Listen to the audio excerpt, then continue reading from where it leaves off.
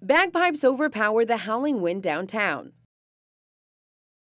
Hundreds marched through the streets of Memphis. They marched this Palm Sunday because more than 2,000 years ago, their Savior, Jesus Christ, marched through Jerusalem. You know, it's a reminder that we all have crosses to bear. Not, not the same way Jesus did, but we all have burdens to carry and burdens to help each other carry. The march from the corner of 2nd and Adams took church members from several downtown churches to these steps. In the cold March air, hundreds sat down, palms and Bibles in hand, and took part in a church service. Many walking nearby joined in.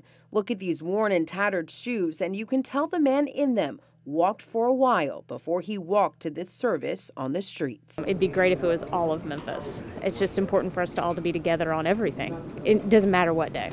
They prayed for many things like crime, education, and homelessness. Then he took a cup because I'm homeless myself. I there's there's a lot of homeless in Memphis. You know, people don't realize how many there is, but there's quite a bit. You know, and it's hard for these guys. Mark Wilson's been on the streets for five months now and says what you see here, these church members sharing their faith, it happens a lot. We get a lot of church people that come around and see us, you know, where we're sleeping, and they bring us food and uh, you know stuff we need, shoes, socks, you know, toiletries, you know, to try to keep ourselves clean.